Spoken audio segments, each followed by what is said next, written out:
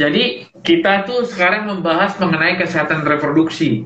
Kadangkala kesehatan reproduksi itu eh, apa namanya dianggapnya sesuatu hal yang belum perlu diketahui karena banyak berpikiran itu adalah hal yang tabu. Padahal sesungguhnya sejak dini harus kita berikan edukasi terhadap uh, kesehatan reproduksi itu. Jadi masih masih ada persepsi di negara kita ya negara kita ini ah nantilah kamu belum ngerti apa-apa. Padahal anak yang mulai sejak anak umur ya mulai mengerti tentang bagian-bagian private-nya dia harus tahu. Itu harus kita tahu ya. Nah apa sih pengertian daripada uh, reproduksi itu? Reproduksi itu sebenarnya mempunyai suatu arti apa? Suatu proses kehidupan manusia dalam menghasilkan keturunan demi kelestarian hidupnya. Itu yang penting dulu pengertian dasarnya. Katanya maka ada kata-kata reproduksi itu re kembali produksi itu menghasilkan. Jadi yang namanya kembali untuk menghasilkan keturunan itu maksudnya ya. Lalu kemudian apa itu kesehatan reproduksi? Lalu apa? Apa adalah ilmu yang mempelajari alat dan fungsi reproduksi baik laki-laki maupun perempuan yang merupakan bagian integral dari sistem tubuh manusia. Nah, lainnya yang serta hubungan secara timbal balik dengan lingkungan. Itu yang penting. Nah, baru kita masuk ke dalam periodenya. Ini yang penting tadi di awal saya katakan. Periodenya mulai dari apa? Mulai dari neonatus, yaitu 0 sampai 1 tahun, sampai nanti bayi, balita, anak, sampai nanti selenium. Selenium itu sampai menopause. Ya, itu ya. Nah, kita langsung lompat ke masa remaja. Ini penting nih. Masa remaja itu adalah apa? Periode transisi. Nah, transisi itu apa? Untuk menentukan nih, menentukan nasib sendiri, seolah-olah sudah dewasa, tapi sebenarnya masih anak-anak di antara. Nah, di mana pada masa remaja itulah yang disebut dengan perubahan biologik. Nah, masa remaja juga dibagi lagi menjadi tiga. Ada early, ada middle, ada late. Nah, ini tergantung umurnya. Kalau yang early itu ada 11 sampai 14 tahun. Kalau yang middle 15 sampai 17. Yang sudah late itu ada juga yang 18 sampai 24 tahun. Nah, kita bahas tentang remaja ini. Penting apa? Masa remaja, masa yang disebut masa uh, cobaan, masa topan dan stres yang sudah mulai tumbuh di situ. Kemudian kalau diambil rata-rata fisiknya itu antara 12 sampai 24 tahun. Nah, remaja remaja yang awal 12 sampai 17 tahun. Nah, ini yang paling penting apa? Keinginan untuk menentukan nasib sendiri. Nah, di sini ya. Kenapa saya katakan keinginan nasib sendiri? Ya seolah-olah udah saya I don't need anybody. Nah, dia dia nggak butuh lagi orang lain. Dia udah seolah-olah dia berusaha udah bisa memutuskan apa yang terbaik untuk dirinya. Padahal sebenarnya masih proses peralihan gitu loh ya. Makanya disebut sebagai masa transisi. Masa transisi apa? Terarah menjadi orang yang bertanggung jawab gitu.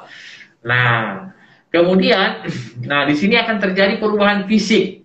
Perubahan fisiknya itu nah dilihat dari pertumbuhan daripada yang disebut dengan tumbuh kembang remaja ya pertumbuhannya fisik, biologis, fungsi kognitif juga, kemampuan berpikirnya, moralnya, spiritualnya, dan juga psikososialnya, itu ya.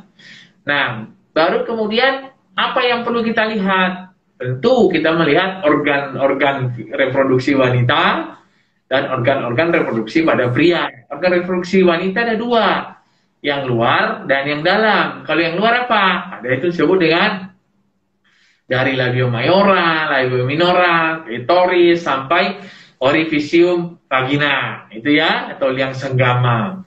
Kalau yang dalam apa? Ada vagina, ada cervix, ada uterus, ada tuba palopi, ada ovarium, itu yang bagian dalam. Nah, kemudian kalau yang laki-laki apa? Ada juga yang luar, ada yang bagian dalam. Kalau yang luar apa? Ada penis, ada skrotum, ada organ reproduksi yang dalam apa? Ada testis, ya tahu? ada vas deferens, ada epididymus, ductus turbinus, ada vesicula atau seminularis. Jadi hal-hal seperti itu yang harus diberitahukan kepada para masa remaja memulai perubahan. Pertumbuhan seperti apa? Tanda khasnya ya tumbuh rambut di ketiak, gitu. Tumbuh rambut-rambut halus di daerah kemaluan. Nah, itu kan perubahannya satu karena perubahan hormonal. Yeah. Nah, kalau kita bahas lagi lebih lanjut lagi, dalam lagi nanti banyak. Jadi, saya sarankan jauh lebih baik kita mengetahui dulu anatominya, mengenalnya, baru kita tahu nanti penyakitnya apa. Nah, penyakit apa yang kira-kira penyakit menular seksual? Banyak tuh. Nah, apa tuh kira-kira? Ya HIV, apa gonore, kemudian sifilis, herpes genital. Nah, kenapa sampai kandida, bahkan kondiloma acuminata. Jadi hal-hal seperti itu nanti kalau semua sudah kita berikan edukasi yang baik, ya Tentu dengan mengenal, mengetahui, baru mengetahui bahwa resikonya seperti apa. Nah dengan demikian kita berikan edukasi sedini mungkin, maka remaja-remaja kita nanti akan terhindar dari seperti yang saya sebutkan tadi penyakit-penyakit yang tadi bahkan akan terhindar dari ya seks bebas segala macam itu ya begitu nah hmm, kemudian kita bicara mengenai kesehatan reproduksi untuk keluarga yang berencana. Gimana itu? Nah, masa reproduksi sehat. Mengenai kalau misalkan dia sudah menikah, hindari dong apa namanya pernikahan di bawah 20 tahun, hindari juga kehamilan di bawah 20 tahun.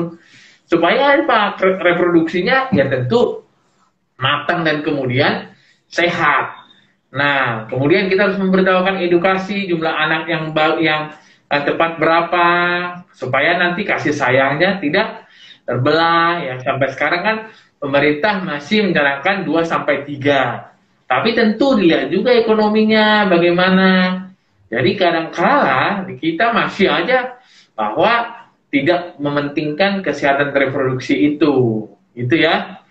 Nah, hmm. jadi kalau saya bahas lebih sedikit lagi ke arah sudah mulai eh, bagaimana menjaga kesehatan reproduksi di usia-usia yang sudah menikah ya tentu dengan cara bagaimana sesegera mungkin kontrolkan ke dokter kandungan dengan cara bagaimana jangan tunggu ada keluhan dan sebagainya menjadi rutin dengan cara lakukan dengan pap smear yang rutin tujuannya apa untuk mengetahui jangan sampai terjadi cancer kanker serviks nah jadi kadang-kala di Indonesia atau kasus-kasus penyakit eh, PMS atau penyakit seperti kanker serviks itu meningkat karena keterlambatannya datang untuk ke dokter kandungan. Padahal tujuannya hanya untuk cek saja.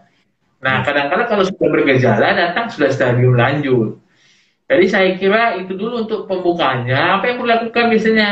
Dengan cara ya pap smear, kemudian dilakukan mungkin melakukan dengan tes HPV DNA, ketahui apakah sudah terinfeksi virus atau tidak, kan cancer cancer cancer dari serviks itu tidak muncul juga tiba-tiba muncul cancer, dia punya proses tahap yang lama. Dari dia infeksi viral dulu, viral HPV, baru kemudian precancer, baru sesudah precancer menjadi cancer, itu kan puluhan tahun ya. Hmm. Jadi saya kira kalau kita dapat melakukan pencegahannya dari awal, dengan demikian ya kasus-kasus servik oleh karena ke Baik, baik dokter. Terima kasih dokter Rudi.